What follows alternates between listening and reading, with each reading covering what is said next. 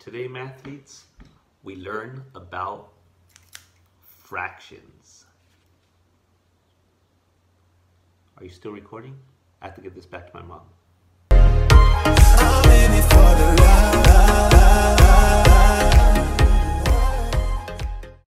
What is up, mathletes? So today we're going to talk about the F word. What? Yep, that's right. We're going to talk about fractions, all right? And this is a topic that not too many people like. So what I tell people is just learn it well, learn it good the first time, and then you won't have to worry about fractions again. All right. So let's start off by, you know what I want to do? I want to first talk about how to multiply fractions, or maybe remind you, because these are a little easier. And this is where the problem starts. All right. Because multiplying fractions, when people are taught, they're like, oh, it's not so bad. And I agree. Because when you multiply fractions, look what we do. We multiply the numerator times the numerator, right? The number on top times the number on top. And I'll do that in yellow here. And then we multiply the number on bottom times the number on bottom. Oops, didn't want to do that. Let me get a new highlighter. The number on bottom times the number on bottom. All right, so we get 15, right? 3 times 5. So let me recap that real fast. We did 2 times 4, gave us that 8. And then 3 times 5 gave us that 15. So when we're multiplying, it's really nice. But it's a little too nice that it starts to encourage bad habits and confusion. All right. So this is how we multiply. This is how we multiply fractions. All right. And now let's talk about the big hitter. The one that gives people problems is how to add and subtract fractions. All right. So step number one, biggest step in the world. Make sure you hit like and subscribe and help a buddy out, right? Help us out over here Dr. Math. So uh, let's go ahead and let's talk about something we all know. So let's say you take a half and then you add another half to it, right? So you take one half and you add the other half to it. So we know if we put it together, right, it better equal one, a complete one of whatever you, you took half of, right? But here's the problem, what people do all the time, I see it everywhere, right? I see it at Walmart, I see it at Target, I see it at the gym. What people do is they take that number on top and they add it to the number on top. So they get 2. And then they take the number on the bottom, the denominator, and they add it to the other denominator. And they get 4. And so they end up with 1 half plus 1 half equals 2 fourths. But look at that. When you simplify this, right, when you reduce this, 2 half, uh, 2 fourths, that's the same thing as 1 half. E, that can't be right, right? That can't be right. That doesn't make sense. And you're absolutely right. So today what we're going to learn is we're going to focus on a nice trick that helps us out because we have something called the order of operations. And in math, all that does is it tells us what you need to do first, what you need to look for next. It's just an order so all of us do the same sequence in terms of math, okay? So if you're interested, uh, click down below and I have a video to help you out with the order of operations. All right, so let's continue this madness. Let me get a new page for you mathletes. So here's what the trick says. All right, and let's do an example here. Let's say you have two thirds and you want to add one third to this.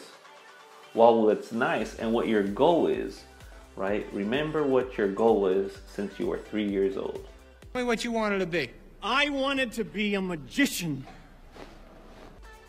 Yeah, so our goal is here, let me highlight this, is we want to get these denominators to be the same.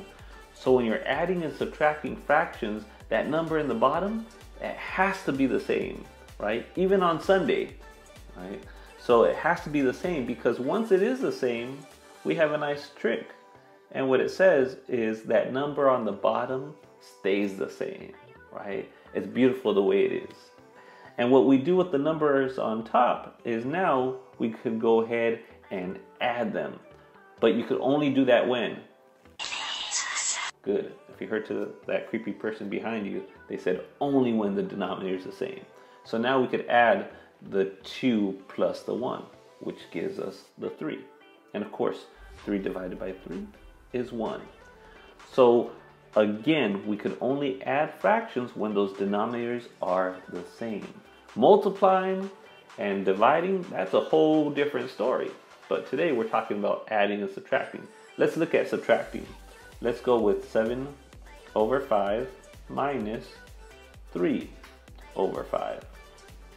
All right, so the first thing you check for, and I don't care what level you're at, right? You're always, when you have fractions, you always make sure that these denominators are the same. If they're not, get your money back. So here, since the denominators are the same, then we know that denominator stays the same. It stays at 5. And all we do is we go ahead and subtract, right? The first numerator minus the second numerator. And we end up with 4. So we end up with 4 fifths for this problem. All right? So the big question you might be asking, the big question you might be asking is 2,000 years later. I was kind of waiting for you because I don't know what your questions are. All right, let's do another example. I know what your question is. What happens when these denominators are not the same? That's the big question. What happens when these denominators aren't the same? So what you have to do is what I tell my mathletes all across the world is always pay attention to the little details.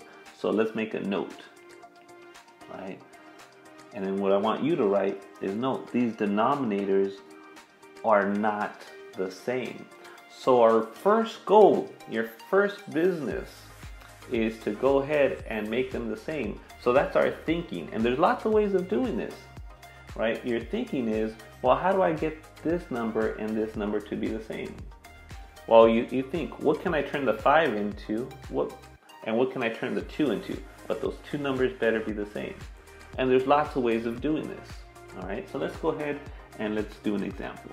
And let's use some different numbers here. Uh, let's put that 1 half first. And let's put that 2 fifths second. And so this is one way of doing this. So right now, we notice that these denominators are not the same. But remember your goal, right? Our goal is to make them the same. So what I notice is we can make both of these 10. And that's great. If you notice that, if you're pretty good at multiplication, man, that's really gonna help you out. And here's my biggest piece of advice to you for you watching. If you need help on multiplication, that's what you have to practice. That's gonna make fractions 10 times easier. It's like if you were playing Fortnite, what's gonna make you better at Fortnite? Practicing. It's never over. So in math, what other people do is they make sure they learn how to multiply first because that makes life easier. So here, what we're gonna do, one of my cheat codes is I ask myself, two times what equals 10? Well, I'm gonna multiply this by five. And whatever you do to the bottom, you do to the top. So I'm also going to multiply the top by 5. And let's do this other one. This 5, what do I multiply this 5 on the bottom by to give me 10? Good. You multiply by 2. And whatever you do to the bottom, you do to the top. Alright, so let's go ahead and let's see what this equals. So equals.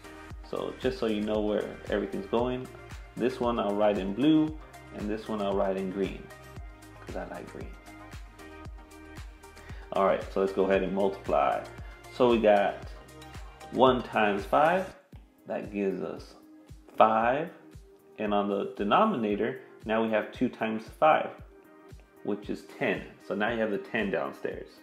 For the next fraction, you have 2 times 2. And we said we're going to write that in green. So that's 4, right? my fancy 4 there. And then on the bottom we have a 5 times 2, which we said is 10. And now look, now those denominators are the same. So because they're the same, now we can work with what's on top. So on top, look what it tells us to do. We have 5 minus 4. So 5 minus 4 is 1. And what do we say on top? We just, or the bottom, the denominator. We keep it the same. So it has to stay the same. So bam, it stays the same. And there's our answer. So this, my friends, is how we're gonna work with adding and subtracting denominators. You, our big goal is to make sure these denominators are the same. And I'm curious, if you need help with figuring out a faster way of getting those denominators the same, comment down below. Let me know what type of video that you want. And most important, don't forget to like, subscribe, and I'll see you next time, mathletes. Adeus.